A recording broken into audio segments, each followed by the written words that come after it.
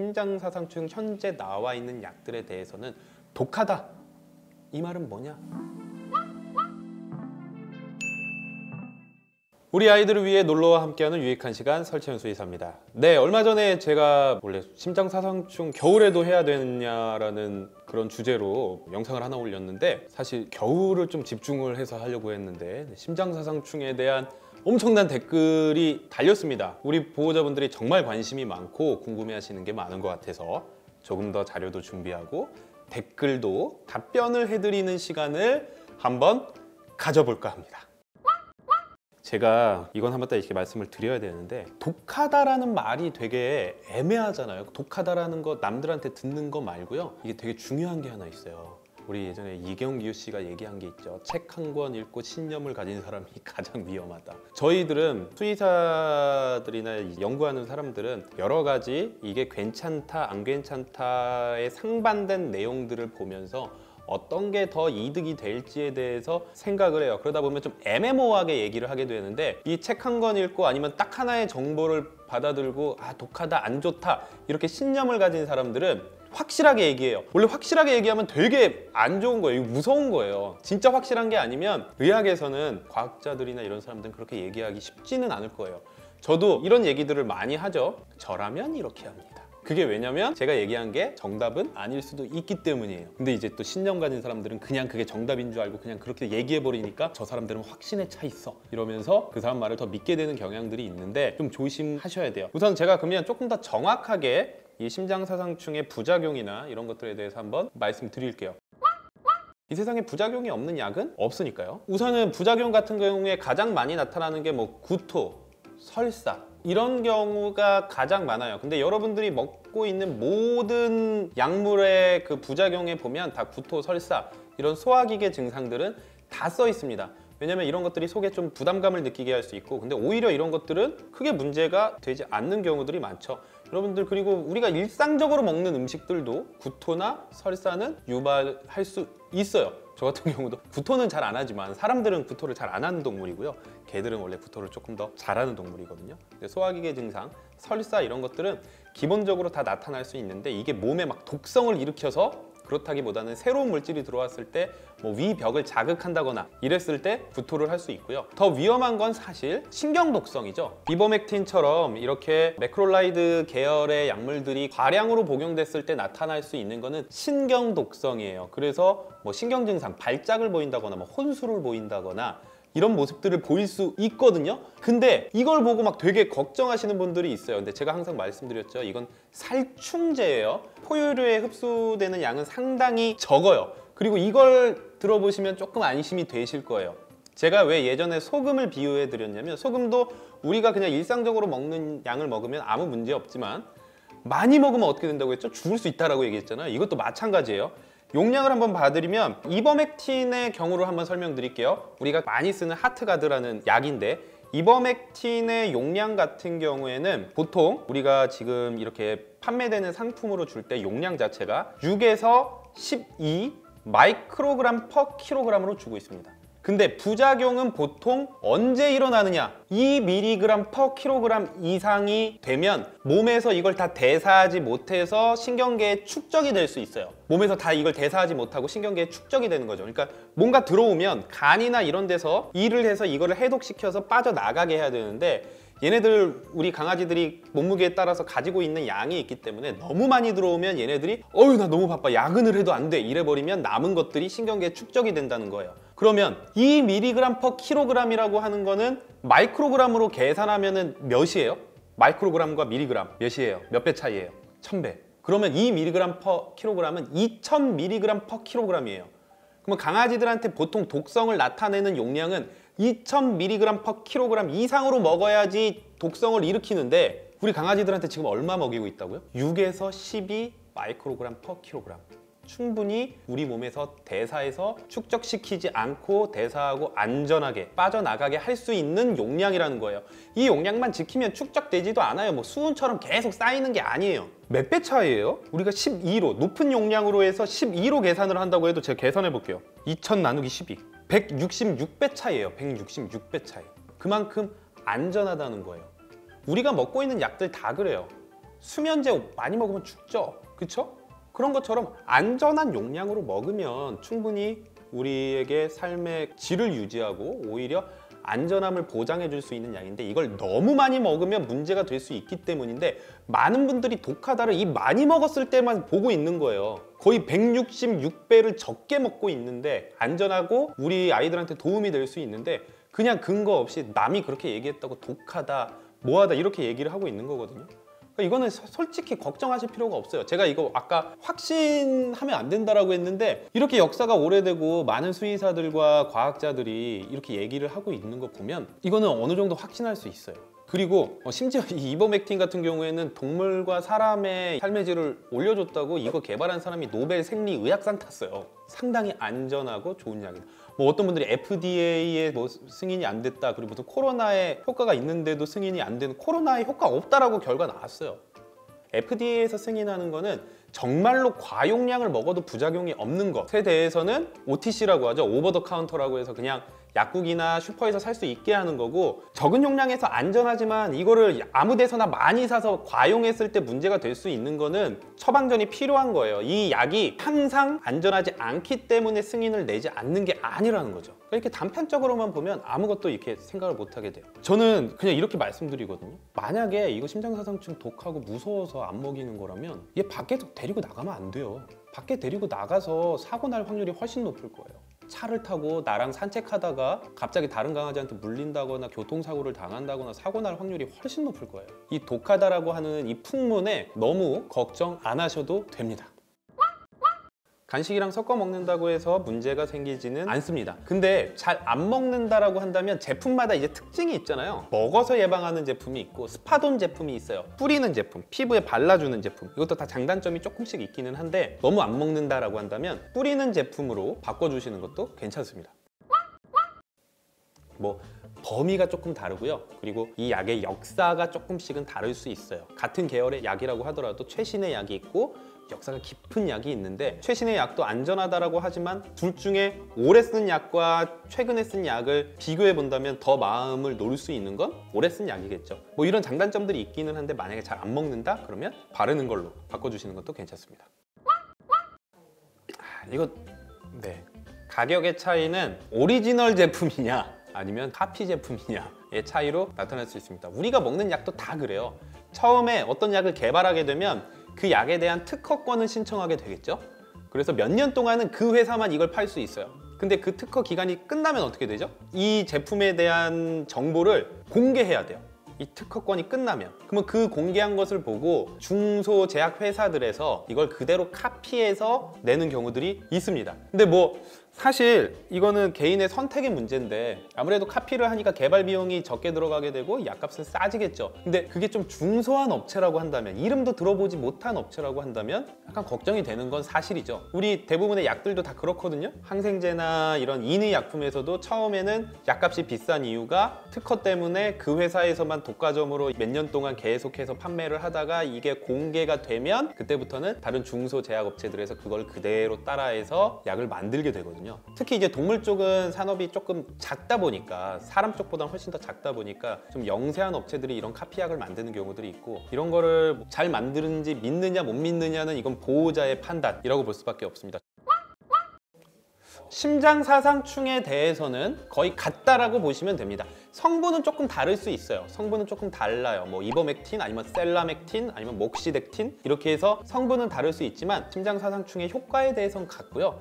진드기에 대해서 범위가 좀 다를 수 있어요. 이 바르는 제품들 같은 경우는 심장사상충만 있는 제품이 없거든요. 바르는 제품은 심장사상충과 외부 진드기를 다 같이 예방하게 만들어 놨어요. 그런데 이렇게 다 같이 예방하는 것 중에서 특히 이제 외부 진드기, 외부 기생충, 진드기나 이런 것들에 대한 범위가 제품마다 조금씩 다를 수 있어요. 그래서 우리 강아지가 좀 진드기가 많은 곳에서 산다거나 산책로가 산이나 풀숲을 좀 선호하는 아이라면 진드기 예방이 많이 되는 걸 추천을 하고요. 그리고 뭐 그렇지 않다라고 한다면은 뭐 걱정 안 하고 진드기 예방이 조금 적게 돼도 그런 걸로 하시는 분들도 많이 있습니다. 그래서 이거는 수의사 선생님들께 이 범위와 우리 강아지들의 산책 스타일 그리고 약마다 좀 얕은 부작용, 신경 증상이 아닌 뭐 구토나 설사 아니면 바르는 것 같은 경우에는 알러지 반응으로 털 빠짐 같은 게 나타날 수 있거든요. 이런 것들에 따라서 선택을 해주시는 게 좋습니다.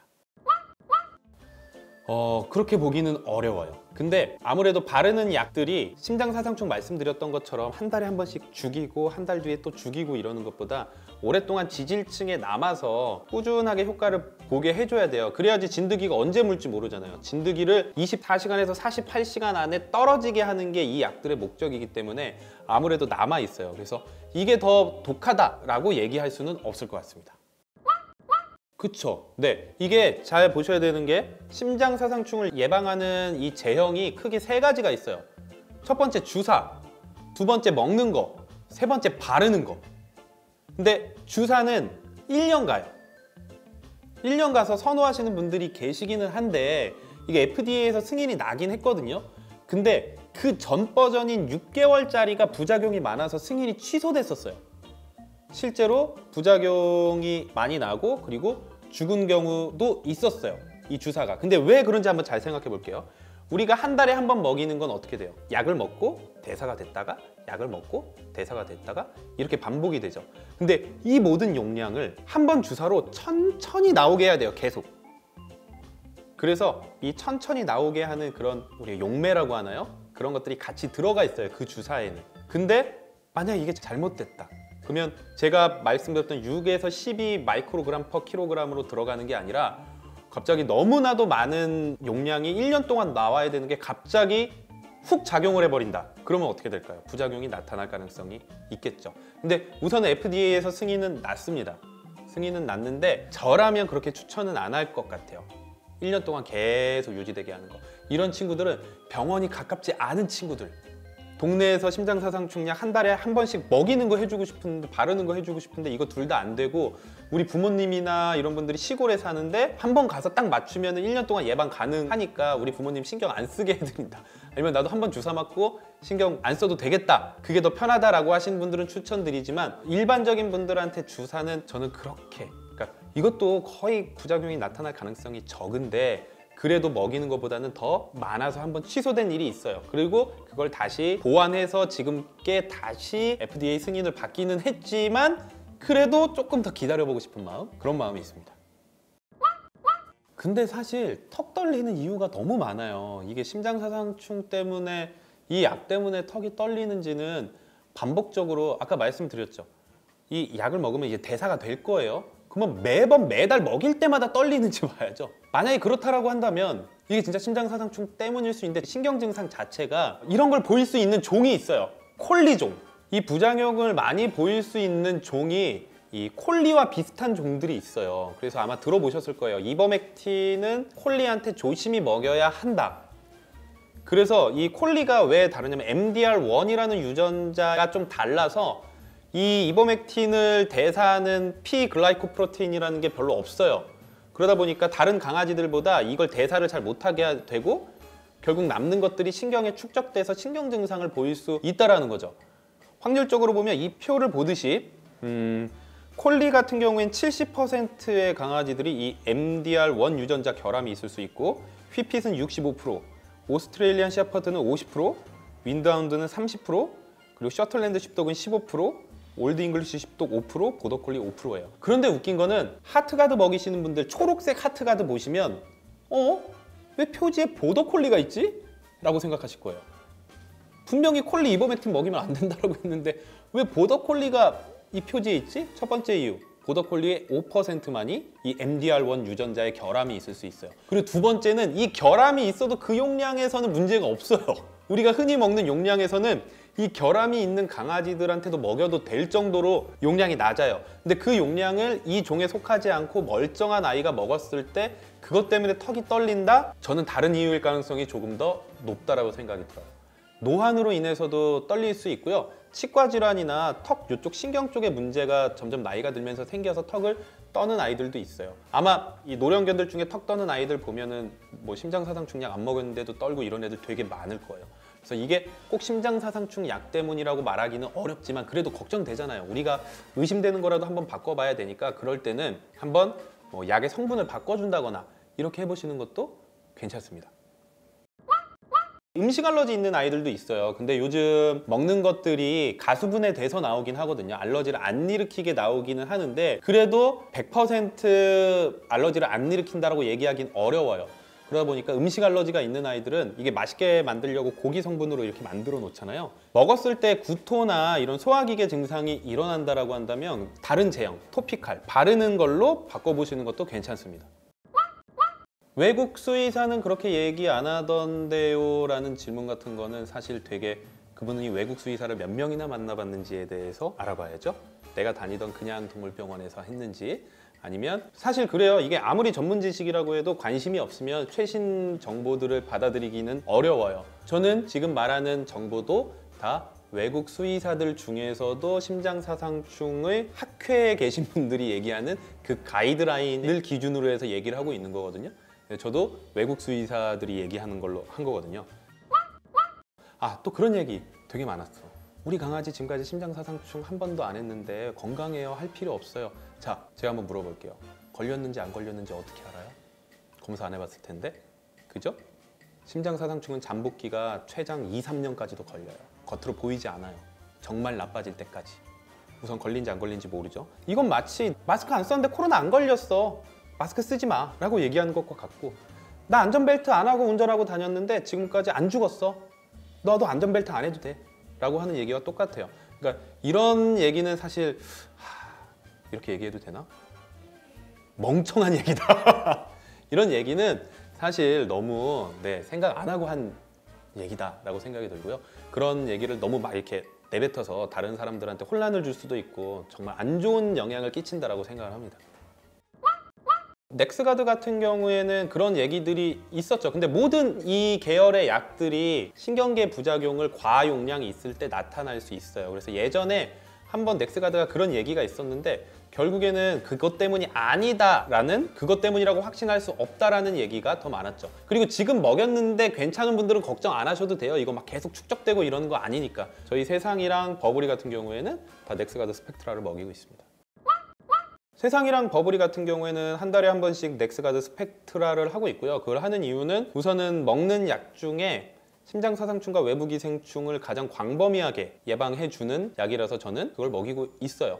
근데 실제로 그걸 먹였을 때 구토를 한다거나 잘 안 먹는 아이들이 있어요. 그러면 이게 가장 좋은 제품이라는 게 아니라 조합에 따라서 뭐 Heartgard Frontline을 했을 때 가장 잘 맞는 친구들이 있고 뭐 Revolution이나 Advocate만 해도 괜찮은 아이들도 있는데 저는 효과 보다는 진드기에 대한 이런 범위에 대한 차이 그리고 우리 아이들과 내 생활 패턴에 맞는 약이 있어요. 뭐 예를 들어서 저는 어린이가 있는 집은 바르는 걸 그렇게 추천 안 합니다. 왜냐면 발라놓고 좀 하루 정도는 금방 뭐 두 시간이면 흡수가 된다고 하는데 발라놓고 집에 갔는데 애들이 이쁘다고 말해도 안 듣잖아요. 막 쓰다듬어 버리면 우리 아이들 손에도 흡수되고 만약에 용량이 적어져 버리면 효과는 없을 수도 있고 뭐 그런 것도 있고요. 막 음식 알러지가 있는 아이들은 먹는 것보단 바르는 걸 추천하고 이런 식으로 해주시는 게 더 좋을 거라고 생각이 들어요.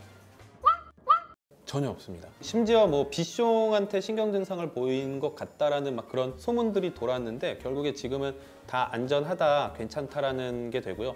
그리고 솔직히 알 방법이 없어. 누가 막 저 그 댓글도 있었잖아요. 뭐 어떤 간호사가 심장사상충 먹고 죽은 아이들을 많이 봤다. 그 간호사 나도 몰라요. 우리 교수님 와도 몰라. 부검을 해도 알기 힘들어. 근데 무슨 간호사가 강아지들이 심장사상충 약을 먹어서 죽고 이런 걸 어떻게 알아요? 이런 거는 정말로 대규모 만약에 정말 이걸 먹고 많은 아이들이 갑자기 죽기 시작한다라고 한다면 대규모 연구 결과를 가지고 부검과 약물 성분 분석을 통해서 이루어지는 거지 아무도 그렇게 알 수 있는 방법 자체가 없어요. 저는 그래서 그냥 계속 우리 아이들한테 먹이고 있습니다. 지금까지 부작용은 전혀 없습니다. 어, 네 그런 부작용은 있을 수 있어요. 이게 토피컬로 바르게 되니까 털이나 모낭에 바로 작용을 해서 알러지 반응이 있어서 털이 안 난다거나 이런 부작용이 있을 수 있는데 이거는 뭔가 우리 연고에도 써 있어요. 연고. 우리 후시딘 마데카솔 같은 데도 써 있을걸요? 알러지 반응으로 털이 나지 않으면 의사와 상담하세요. 이런 거 써 있단 말이에요. 이렇게 바르는 거는 그럴 수 있어요. 그러면 그 제품을 쓰지 말고 그런 친구들은 먹는 걸로 바꿔야죠. 정말 많은 댓글이 달렸고 다시 한번 보호자분들이 심장사상충에 대해서 조금 과도한 걱정을 가지고 계시다라는 것을 다시 한번 느꼈어요. 심장사상충이 약이라고 하는 게 우리가 알고 있는 것보다 아주 안전한 용량으로 사용을 하고 있고 모든 약들이 부작용이 없는 건 아니지만 그래도 아주 안전하게 쓸 수 있는 약이기 때문에 그런 부작용을 걱정해서 심장사상충 약을 안 먹여서 걸릴 이런 리스크를 가지고 있는 것보다는 조금의 부작용이 만약에 뭐 구토 설사 아니면 진짜 특이한 경우에 그런 신경 증상이 걱정되더라도 먹는 것이 훨씬 더 이득이고 안전하다라고 생각을 하시면 됩니다. 그리고 뭐 지병이 있지 않는 한 대사를 못해서 뭐 간에 좀 문제가 있어서 이게 대사가 좀 안 될 것 같다거나 지병이 있지 않는 한 이거는 모기가 있는 한은 계속 먹여줘야지 안전한 거죠. 우리 아이가 나이가 들수록 더 문제가 생기겠죠. 걸렸을 때 차라리 젊었을 때 걸리면은 버티기라도 하는데 나이 들어서 걸려서 막 혈압 높아지고 이러면 더 문제될 수 있기 때문에 나이와 상관없이 지병이 있지 않다면 수의사의 판단하에 이걸 먹으면 더 안 좋겠다. 아, 차라리 걸리는 것보다 지금 상태에서는 걸리는 리스크를 감수하는 게 좋을 정도다라는 그런 판단이 있기 전까지는 계속해서 먹여주셔야 됩니다. 전 알아요. 이렇게 얘기를 해도 그 책 한 권 읽고 신념을 가지신 분들은 듣지 않을 거라는 걸 알지만 또 댓글들 중에 답변을 드릴 수 있는 부분들이 있다라고 한다면 또 한번 댓글 밑에 답변을 드리거나 이렇게 다시 영상을 올리도록 하겠습니다. 구독, 좋아요, 알림 설정 잊지 마시고요. 다음번에 더 좋은 정보로 찾아뵙도록 하겠습니다. 안녕.